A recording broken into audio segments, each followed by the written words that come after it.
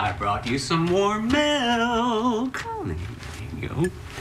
Troy and Abed off to dreamland, catching the train to Sleepy Town. And when they wake up, the dean'll be here, staring at you. Sweet Deans. That's nice, I guess.